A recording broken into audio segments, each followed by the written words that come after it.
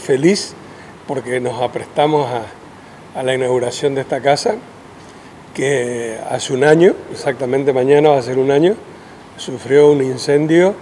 por cuestiones que no nos competían, digamos, a un vecino,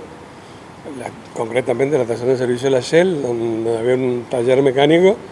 se produce un cortocircuito, ese cortocircuito produce un incendio en membrana del techo,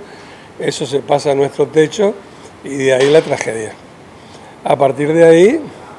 el desafío de la reconstrucción, ese desafío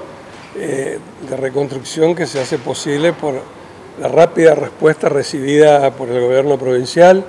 a través de infraestructura, eh, a través de Lotería Chaqueña, eh, a través de mecenazgo del Instituto de Cultura,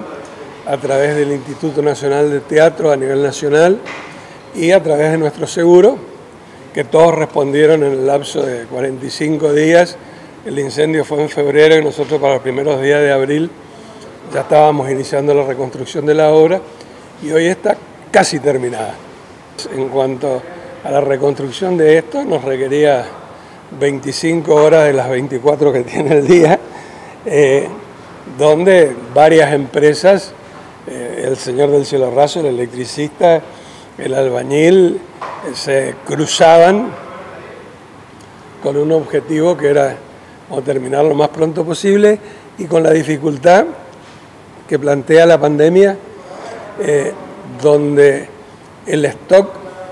que tienen eh, los proveedores no es el mismo que antes. Entonces, para conseguir una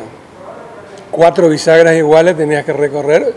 eh, cinco ferreterías, cosa que antes era muy fácil. Eh, un día desapareció el hierro y había que esperar y todo eso te iba atrasando. Entonces se hizo bastante difícil en cuanto a eso, pero eh, yo te vuelvo a decir, eh, feliz porque sentimos el apoyo institucional de los distintos estamentos del gobierno. A mí me dicen, ¿qué te dio la municipalidad? Y la municipalidad me dio lo que me podía dar. sonidos, cuando necesité sonido, un camión para trasladar la butaca cuando que te dio infraestructura, una mano de obra para ayudarme en la demolición de lo que estaba quemado. Eh, y así sucesivamente, eh, la Cámara de Diputados, un apoyo importante, eh,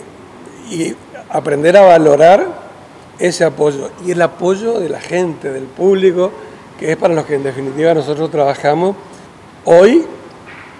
no estamos solos y eso me, me da mucha felicidad porque la cultura explota en cada rincón de nuestra querida ciudad de Resistencia